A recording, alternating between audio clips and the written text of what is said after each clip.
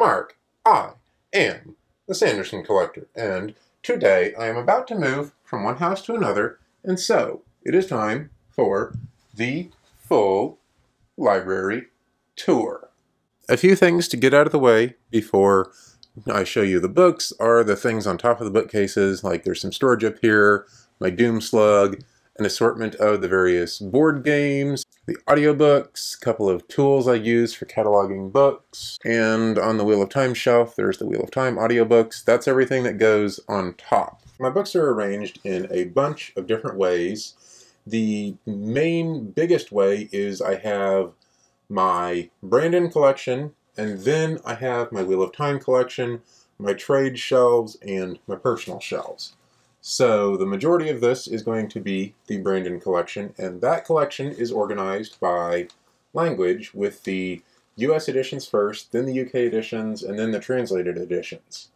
Within the US editions, I generally organize by size of book, with a couple of exceptions for putting the rare books first. And so we're going to start with the rarest of the rare books. These are my unicorns and stuff that I don't really even put into the collecting database because, well, it's pretty unique. Like, this is my beta reader copy of Calamity, a couple copies of Star's End, and a proof copy of Calamity, proof copies of the leather bounds and unbound proofs for some of the leather bounds, a Skyward that is missing some pages, and that is my Super Unicorn shelf up at the top.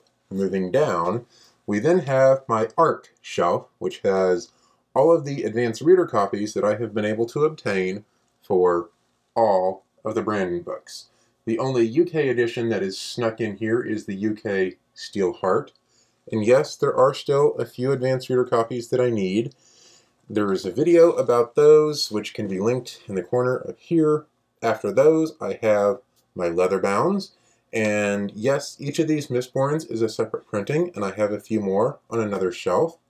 And I love having all the leather bounds on one shelf together here. They're absolutely gorgeous. Before we get into the regular hardcovers, there are a couple more super rare books that I have, such as the Infinity Blade set and the Legion set from Subterranean Press, and the Dragon's Bane and Unfettered slipcase copies, and so on. Then we get into the regular hardcovers. For all of the US hardcovers, I do have a first print, first edition hardcover, so Elantris, Emperor Soul, Warbreaker, Mistborn, and so on. I also have a couple of notes here that people have written, a little figure of Loial, a glyph that was 3D printed for me, and the cute little Doomslug sticker. Moving down to the next shelf, we see more hardcovers, and if there is a hardcover on these shelves, it will be a different printing or at least a different state of the book. And you can see this very clearly with the copies of The Way of Kings here, where we have a later printing here and a later printing of Words of Radiance here, where the spine is different. Within each language, I do categorize my books by universe and then series, and I generally try to put the series in publication order of the first book. So we have the Elantris set up here, and then Warbreaker, then the Mistborn books, then the Stormlight books, all of these are within the Cosmere universe. And then we have White Sand. And then we get out of the Cosmere stuff with Dark One. And the graphic novels are a little bit out of place because they don't all fit on all of my shelves because they're so tall.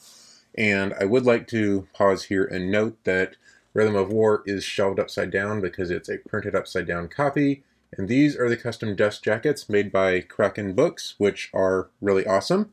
And then I have Arcanum Unbounded and my Sanderson Curiosities. These are still ones that I'm trying to figure out where to really put. Then we get into the YA series with Rhythmatist, the Steelheart books, and yes, these are the five different editions from the different bookstores that came out, and so they are all different books. And Skyward over here. Now we move on to my second bookcase, and you can see another upside down bound edition here, and various anthologies. Dragon's Bane, which Brandon wrote the foreword to, and is signed by him. The Mistborn Gang books. Then we have a handful of library edition copies. This is a collection that I really would like to expand because I really really like these copies. They are case wrapped, so the cover is bound in. There's no dust jacket on them, and I really like how durable they are and how they feel in my hand. Then I have some paperbacks with the international paperbacks first, and then the regular trade paperbacks here. Then there's a bunch of books that are only available in trade paperback or have trade paperback editions. And we then have the book club editions. Book clubs sometimes put out editions of Brandon's books, and sometimes they're short, sometimes they're tall. Those editions always have a little number on the bottom at the back. That is how you tell it's a book club edition, plus it'll have no number line. And then things start to get a little bit confusing because I do not have enough room on all of my shelves, and so I have had to put in an extra shelf and make some of the shelves narrower.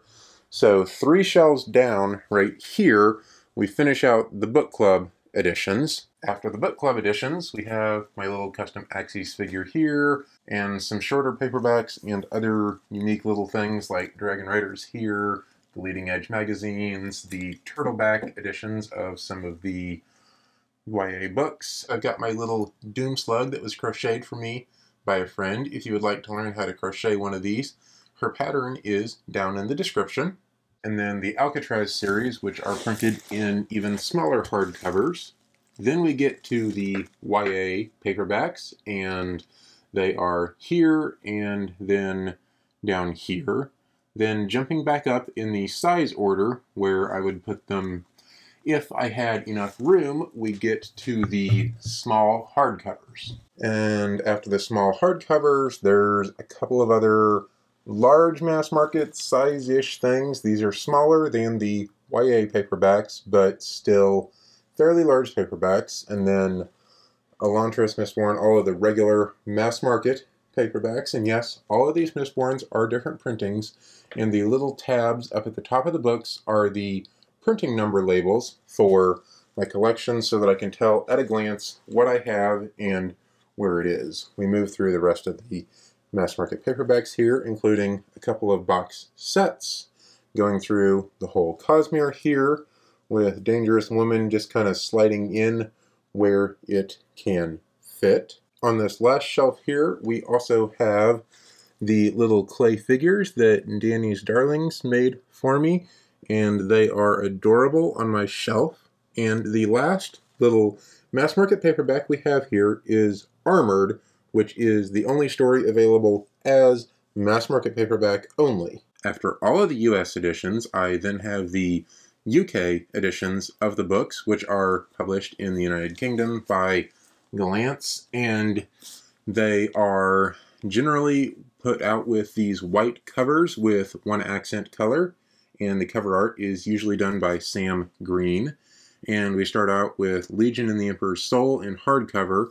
They did not put out a full-size hardcover for Elantris, Warbreaker, or Era 1 of Mistborn, and that is why we start with these.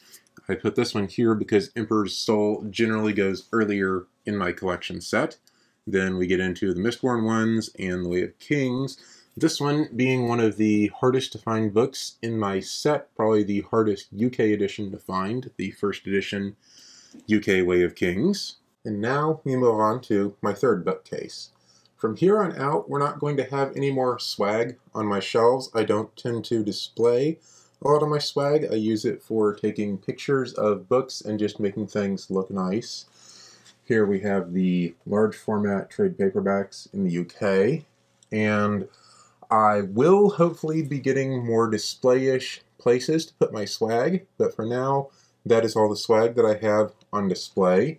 And we have the UK 10th anniversary Mistborn hardcovers and the various UK case wrapped editions, which are usually reserved for novellas, the one exception being this cute little edition of Arcanum Unbounded, and then the Way of Kings set that came out recently and I have not quite gotten my hands on yet will also be this size. Then we have the mass market paperback UK editions, which are slightly larger than the US size, and yes, I am missing some of these. For example, I do not have Alloy of Law here. I do not have a newer edition Orange Elantris or any of the new formats of the Mistborn set. I will still be looking to fill those out in the future, and there are mass markets for a lot of these. Here's the infamous Black Spine Oathbringer that they redid with still calling it a first print, and we move along and end with the Alcatraz set here for all of the editions in English. Don't worry, just because I'm done with the books in English doesn't mean I will stop describing them in English, and so we move down and here again it gets confusing just because I put in an extra shelf. I've put in a bunch of the mass market books where they will fit because they're shorter and so the languages are slightly out of order. In general, I organize my languages alphabetically by the language and so you can see down here we have French out of order, but we have the full French set with the full Stormlight art, and this is a really cool set. The art on all of these is by Alain Brion. He does all of the French art, and there's a larger format paperback set and a smaller format set, and then we don't even get to finish all the French editions because we jump to where the books should be in alphabetical order, and we start with the Bulgarian set. And the first book here is one of my favorites. This is the Bulgarian Emperor's Soul in actual wood. I also have the Bulgarian Skyward and Starsight. I have not found room to put them on my shelf yet. I will do that as soon as I move in to my new place. And after the Bulgarian set, we go to C for Chinese. And we have Simplified Chinese and complex Chinese or traditional Chinese, I believe. And so we have the first set here in order, along with a couple of very nice hardcovers and some cool bind-ups. This is one of the only languages that Infinity Blade is out in, and that's really nice. And down here we have more Chinese, and you can see that they even have the Alcatraz set out with some completely ridiculous covers. After Chinese, we have Czech. And then we have some more Czech books organized by size. And even down here, we have the little Czech um, Warbreaker, which I call the gay romance version, showing what I believe is probably Lightsong and Vasher, or maybe Lightsong and the God King, looking very, very swole. And that is the Czech set of books all the way up through here, I believe. Then we have Danish and Dutch, and that brings us to the end of the third bookcase. Now we get into the fourth bookcase and near the halfway point of my collection. And we have some more Dutch books here, and then a single book in Estonian. I have a couple more in Estonian that are not on the shelf yet, but it is one of the rarer languages for sure. Then we have the French books in the place where they should be alphabetically. You'll notice that most of these are the larger format books because the smaller format ones are on the other shelf over there. And French is another language that has Infinity Blade released with the original cover, and that one is really hard to get in any other language. After French, we have the Mistborn trilogy with the UK covers in Finnish. Then we move into German. German has some really interesting cover choices that really don't make sense, like looking out from Urithiru over a bunch of lakes, or like standing staring at a bunch of waterfalls. Like, I really don't understand some of the German covers, but I do have a bunch of German books moving through German, German, German. Then we have here German Children of the Nameless, which is one of only a few languages you can get it in. You can't even get that one in English. And we have Greek. Some of these Greek books are really, really important to me because they came from my mailbox and someone actually gifted them to me. I still don't know who they are, but they are some of the only mysterious gift books that I have received, and so they are really precious to me. After the Greek books, we have Hebrew, and I have a handful of books in Hebrew right here. These are interesting because they do not have an ISBN that goes with the barcode, and so they are a lot more difficult to categorize sometimes. I did skip over a quick little set of French white sand hardcovers here because they're so big. This is the only shelf they sit on. After French and the Hebrew here, we have Hungarian, which has some of my favorite cover art, like this Elantris here, where they split the title down the spine, which I think is really awesome. And sometimes I wish the UK editions would do this.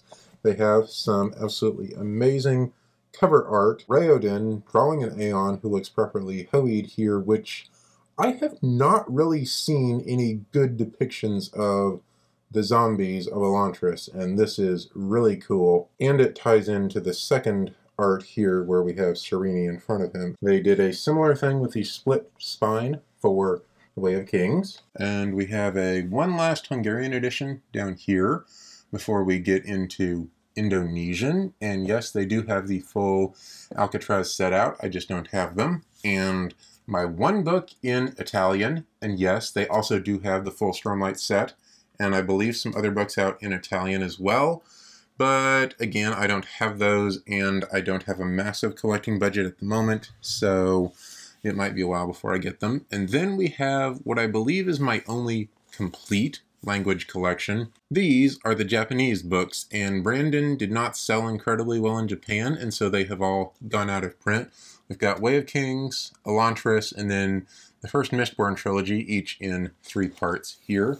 And I think they are really cool. They have a lot of fun anime style covers and the artwork is really pretty and I do like them a lot but again like I said they only published a handful of them there. Then we have the Mistborn set in Lithuanian with some more awesome cover art here and then we move into Polish. I have a lot of the Polish hardcovers because I have a friend and fellow collector who lives in Poland and has helped hook me up with some of those, and I really appreciate that. So thank you to Alex for those. And I have a couple of Polish paperbacks here. I am still working on getting all of the other older Polish paperbacks where they have some insane covers. And then we get into Portuguese. And yes, there's a mix of Portuguese from Portugal and Portuguese from Brazil here. I don't have enough to really separate them into two separate sets, but there are two separate publisher sets of books here. After the Portuguese, we get into Romanian, and these books here are all in Romanian, and it's really cool. And then we have Russian, including this weird bind up where they put all of Mistborn Era 2, Alloy of Law, Shadows of Self, and Bands of Mourning into a single volume, and then decided to split up Oathbringer, which I don't understand that decision. But we have now reached the end of the fourth bookcase. This fifth bookcase over here is going to have the last of my foreign language editions, starting with Serbian, and then Slovak, which has some really cool titles, Metallurg, Pyro, Catastropha, and then Spanish, which is the foreign language that I have the most copies of and the most editions of with a nice set of hardcovers. Yes, I'm missing a couple here, and a gorgeous hardcover of Rhythm of War, which has the alternate cover art from Bulgaria that was put out specially by a bookstore in Spain, and the large paperbacks, including these little bits right here, which are not out in English which includes a lecture Brandon delivered one year at a conference in Spain, which is really cool. And then we have the smaller format paperbacks. These include the infamously bad Screaming Face Final Empire. A couple more little paperbacks here. And then we get into Swedish, which is a set that a friend of mine actually brought back for me while she was on vacation there. And then Thai right here. And we finish off with Turkish, and the very last foreign language edition of pure Brandon Sanderson books that I have is Turkish, Children of the Nameless, one of the only other languages that you can get Children of the Nameless in. This edition is actually signed and numbered number one because when I brought this to Brandon, he had never seen one of these before, so he went ahead and numbered it for me as the number one edition of that book, and that is my only number one copy at the moment. Moving back to English, we have my full Wheel of Time hardcover set here. No, not all of these are first printing hardcovers. I would like to get a set of those, but that ship has probably sailed at this point because the prices have shot up with the show releasing. Then we have a couple more out of order books with the mass market paperbacks for The Wheel of Time. And yes, I have a bunch of printings of a bunch of these because they are fairly easy to pick up at the used bookstore on discount. And so I have a tendency to grab those when I can. Lots of the mass market paperbacks here, including one for the Legend Anthology, a couple of the box sets here, and on this bottom shelf down here, we have my Wheel of Time Advanced Reader copies, of which I have a handful. Certainly not a complete set, but I'm not pursuing these as stringently as I am the other Sanderson collectible arcs because, well, they're not Sanderson and some of them are really hard to find. And a couple of the leather bounds, same deal, I'm not pursuing those. And a couple of other special editions, and then some extra regular hardcovers, different printings, and anthologies and companions and stuff. And that brings us to the end of the fifth bookcase. Moving on to bookcase number six, we have more Wheel of Time hardcover stuff, including some of the graphic novels, the role-playing game, coloring books, several more hardcovers, the trade paperbacks that mostly use the covers from the ebook editions, and a couple of the regular trade paperbacks. Then the mass markets that came out right before the show did, which have the wheel art covers, which are really nice. And we moved down, a couple of other odd little sized editions, and then a book club set, of which I'm only missing The Shadow Rising. So if you know where to get a copy of that, let me know. The large stuff, the big white book that won't fit anywhere else. And then I have a set of UK hardcovers, definitely not complete. Same with the set of UK trade paperbacks. The UK larger format paperbacks, which are some of my favorites. And then the UK mass markets, which go super well together on the shelf, although I am still missing a copy of number 11. I actually have two copies of number 10 because they have different colors for the foiling which I thought was really interesting. Then I have my only foreign language Wheel of Time editions with a handful of Bulgarian ones here. Then I have my countersigned books where I get one author, in this case Brian McClellan, to sign Brandon's book, and then I take that to Brandon and have him sign Brian's book, and they write notes to each other. These are a ton of fun to get done, so I have a bunch of authors here who are rivals of Brandon's or friends of his and so on, and that is an absolute blast to get these. Then we move to the last shelf. Most of the books on the seventh shelf top are going to be my trade and extra copies of things, and I do need to put one of these sets of Way of Kings into my regular collection because it's a second state and it will end up there when I rearrange things. But yeah, I have some trades and extra copies of things here moving all the way through. Some of these books are going to actually end up in little free libraries or being used for countersigned books as well.